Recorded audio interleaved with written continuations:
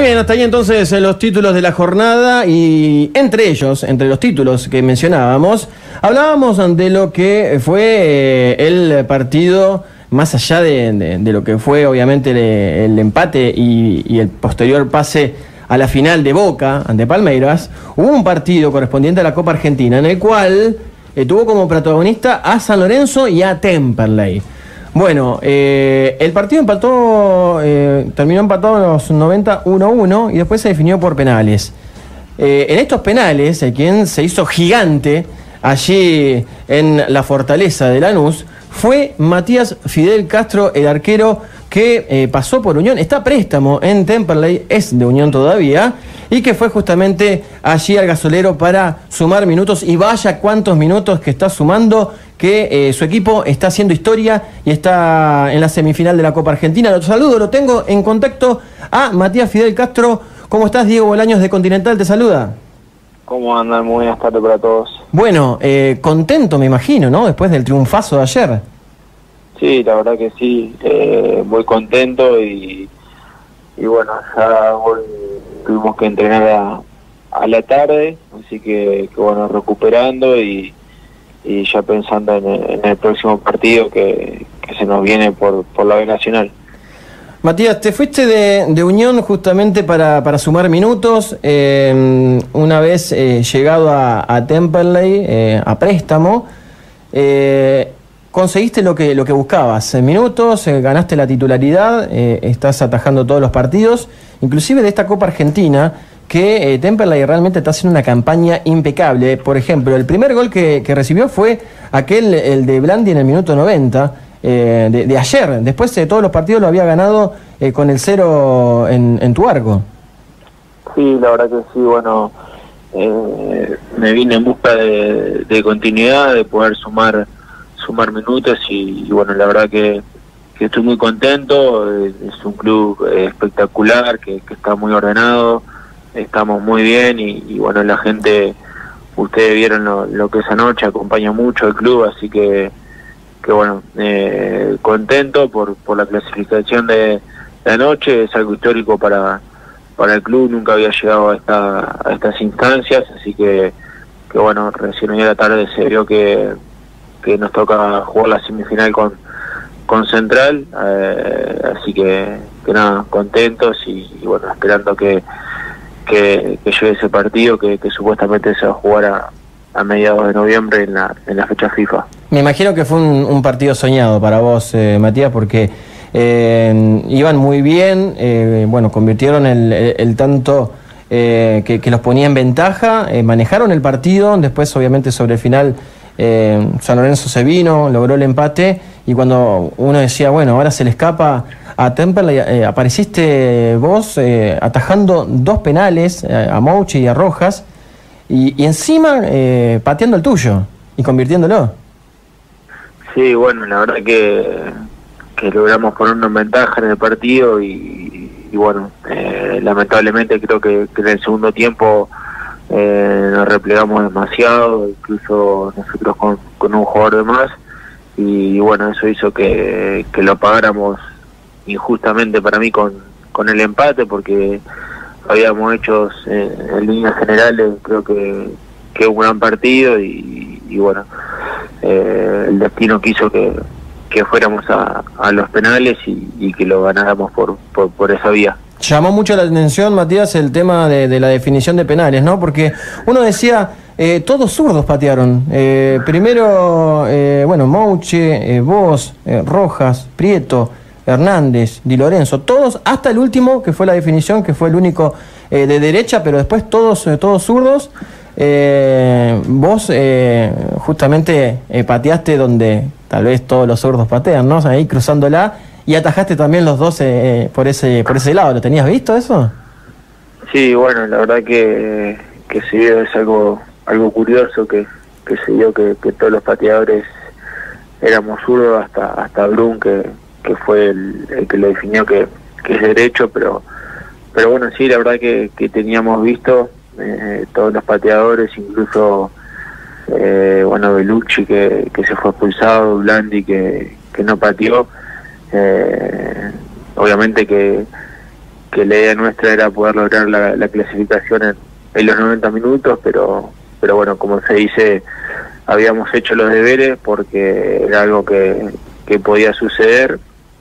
Y, bueno, la verdad que, que se dio tal cual habíamos visto los, los videos y, teníamos anotado, los pateadores de ellos patearon al, lugar donde, donde lo habíamos estudiado y, bueno, después en la semana estuvimos pateando penales y, la verdad que, que, yo me sentía con mucha confianza y cuando el, técnico eh, me preguntó si, si podía patear el primero, este, le dije que, que sí y, bueno, por suerte pude, pude convertir.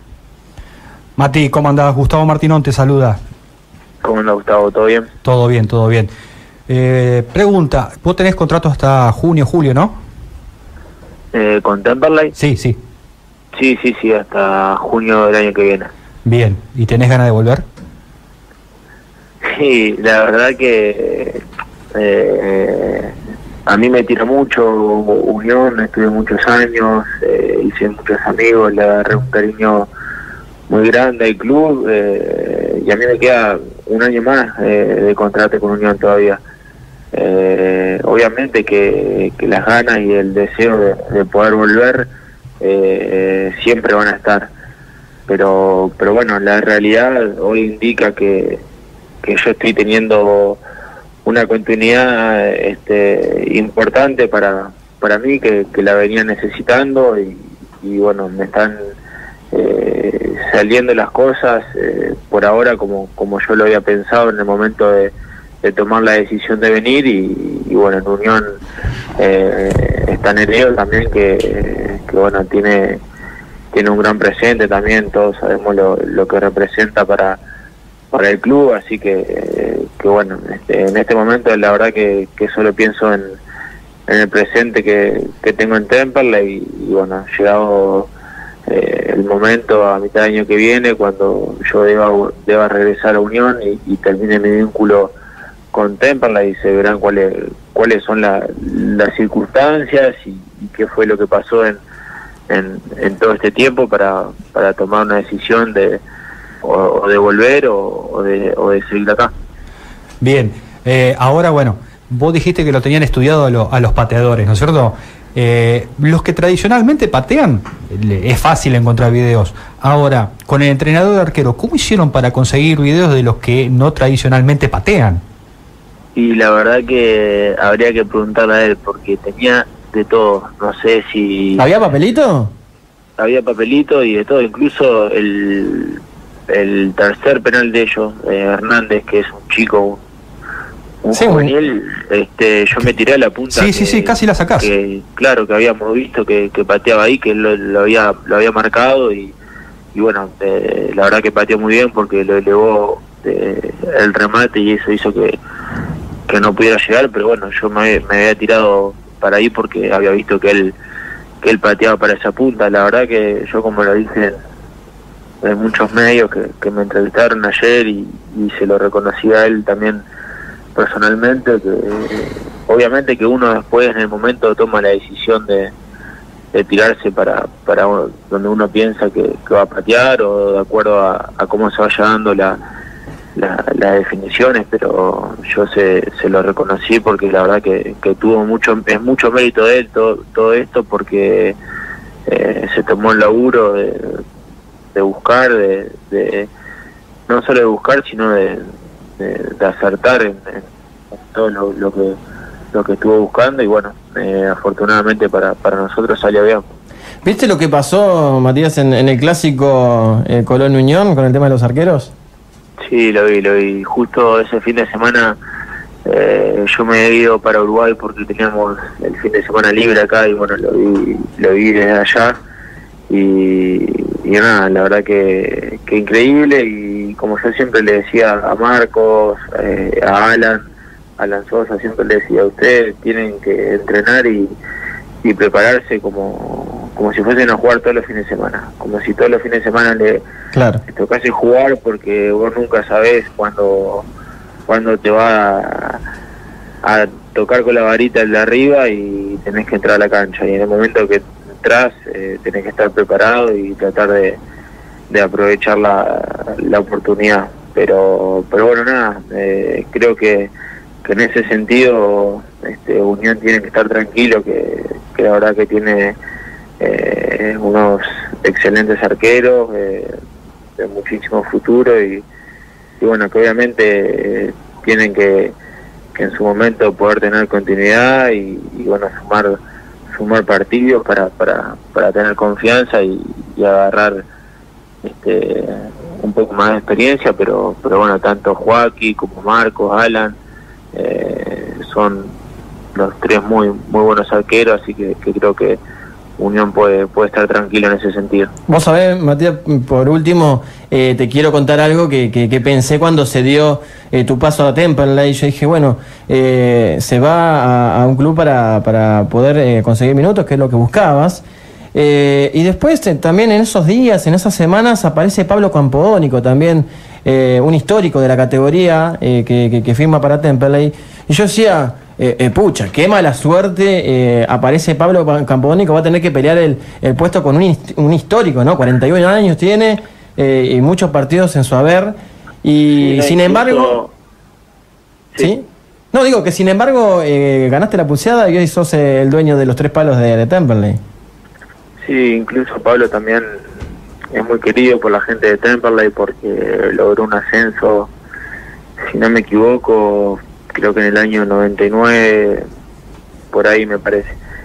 Eh, y no, nada, obviamente que, que a mí cuando, cuando me llamaron de Temperley para, para venir, eh, ellos sabían cuál era mi situación con, con Unión y, que yo eh, iba a salir para, para tener continuidad, para, para poder jugar. Eh, obviamente que, que nadie tiene el puesto asegurado, pero, pero bueno, en principio cuando cuando vine era para, para hacer la, primera opción. Eh, incluso yo cuando me vine, Pablo ya, había, ya hacía una semana que, que había arreglado y que, que ya estaba entrenando.